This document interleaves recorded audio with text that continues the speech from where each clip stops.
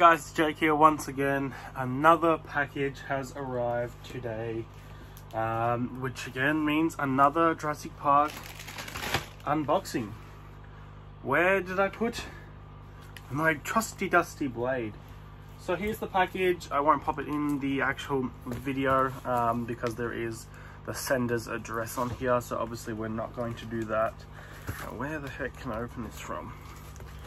Here. So again, I don't know which this is. I probably should look at them and uh, see the senders and stuff when I uh, when I receive the package as to like which it is. But uh, I guess it sort of takes away the surprise factor. I like being able to open the box and uh, get a bit of a surprise. But Dylan's not here with this one today. He is back at school.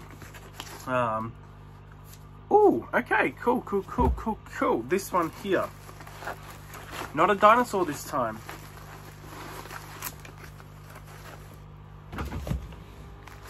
I'm sure you guys can see that. Got to put the packaging up uh, through the uh, the bubble wrap there. So I'm sure you guys know exactly what this is. Let's open the bubble wrap. If I can get the bubble wrap open.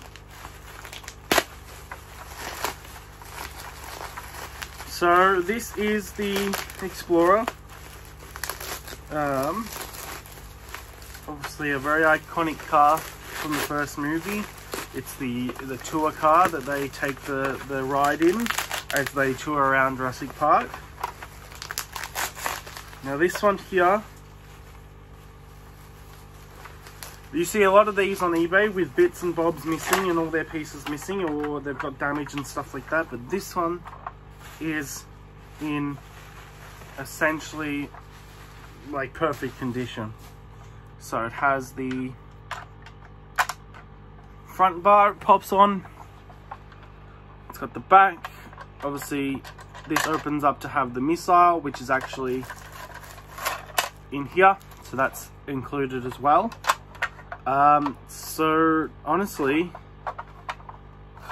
this is in pretty good condition.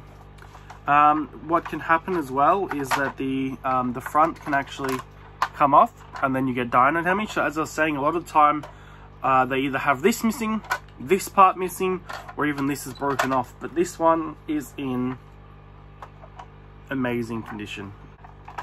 There we go. So that, that, that there is to act like dino damage. So if it was to be attacked by a dinosaur, that would all come off.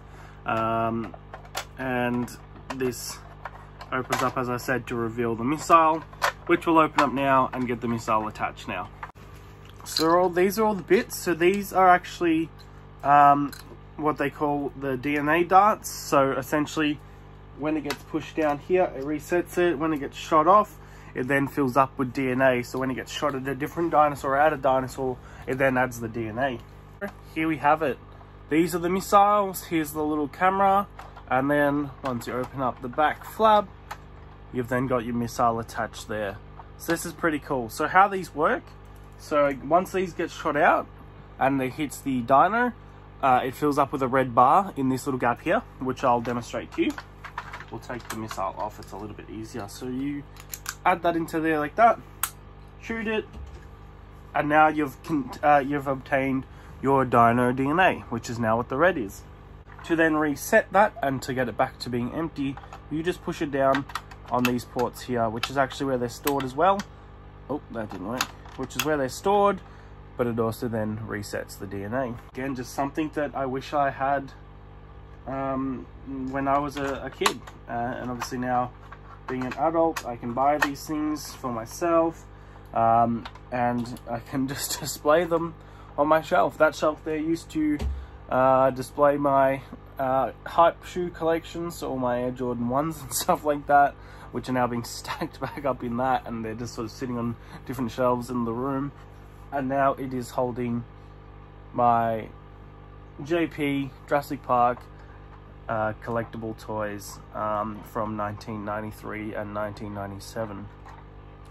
So, that's really cool. I wasn't expecting to receive this one yet, but I'm super glad it's here. Um,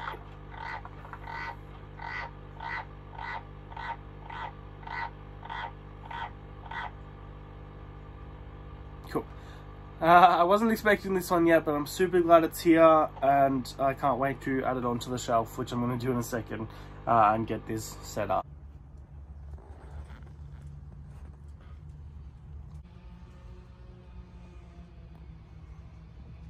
So, thank you guys so much for watching. Uh, like always, if you did enjoy, leave it a thumbs up, and we'll catch you guys in the next one. See you later.